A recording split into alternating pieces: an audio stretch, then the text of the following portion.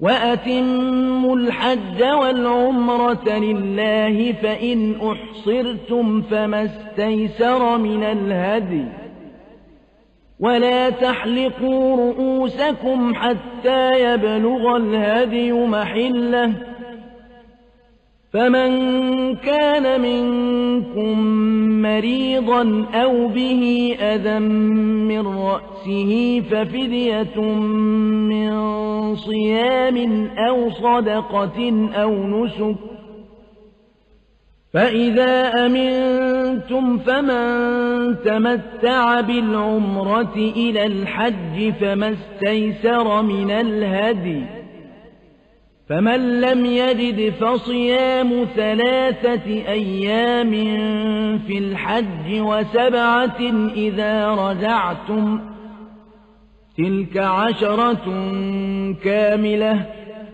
ذلك لمن لم يكن أهله حاضر المسجد الحرام. واتقوا الله واعلموا أن الله شديد العقاب.